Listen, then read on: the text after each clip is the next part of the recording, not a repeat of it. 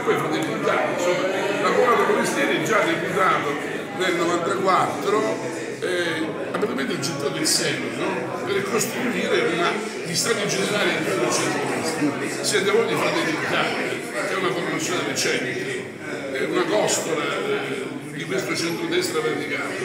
E allora eh, avete eh, in qualche modo qualche speranza di ricostruire questi stati generali? Io stasera ho visto presenti, ringrazio numerosi amici, consiglieri comunali ed esponenti delle forze politiche che tradizionalmente si rifanno all'area centro-destra, amici di Forza Italia, amici del nuovo centro-destra, mi auguro quella parte del nuovo centro-destra che non accetti la deriva italiana verso il PD e l'annessione al PD, amici eh, di noi consalpini, questa realtà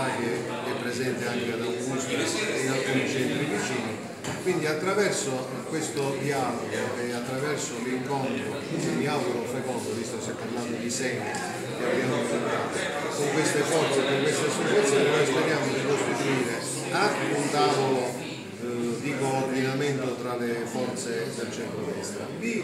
una grande assemblea interna, porte chiuse, tra iscritti, e nuovi per poterci chiarire le idee e per uscire poi all'esterno con un progetto chiaro e convincente. E poi questi stati generali, un grande popolo cittadino al di là della definizione, la sostanza, quello che eh, possa costituire un grande messaggio alla città programmatico di un progetto strategico che faccia uscire Augusto dalle secche della sopravvivenza per candidarlo a vivere un futuro diverso, una grande città e non certamente eh, il momento che stiamo vivendo che è sicuramente deprimente. Però è una grande città, una città perlomeno che potrebbe aspirare ad essere grande, forse il nome stesso, Augusta, città imperiale, però eh, la città l'avete detto voi stessi qui, eh, ormai depauperata non è rimasto quasi niente. E, quindi quale potrebbe essere la leva per poter dare fiducia e speranza a queste vostre resistenze? Io ho sempre pensato per esempio alla legge speciale per Augusta e per tutte le realtà similari. Quando si parla di zone franche in Sicilia sono state approvate delle norme che hanno consentito l'istituzione di zone franche in Sicilia, Augusta, nonché io ho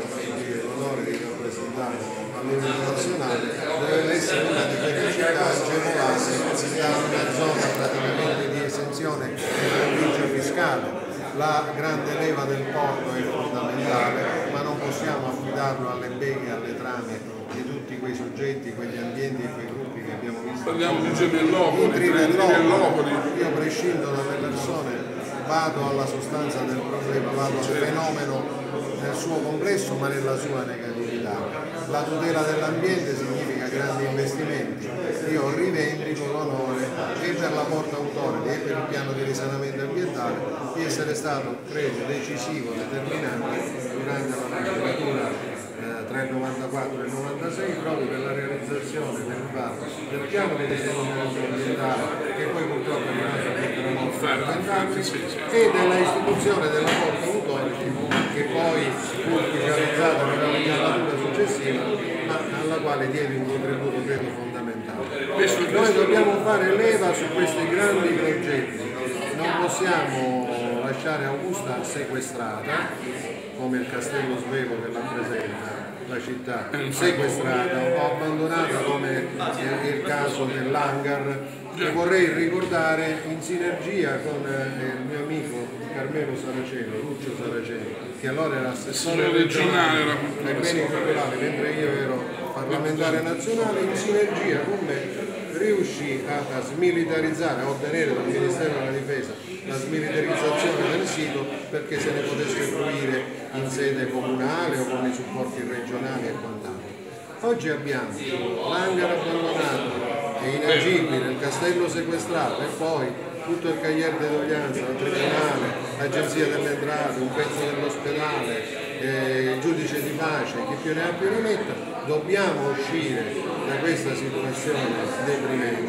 dobbiamo costruire un progetto strategico che ridia lustro, vigore, orgoglio e dinamismo alla città. Una domandina, l'ultima, ma perché noi che qui subiamo le conseguenze nefaste dell'inquinamento o della industrializzazione selvaggia, come ha ricordato il generale Insonia, e, e paghiamo allo Stato fior di quattrini in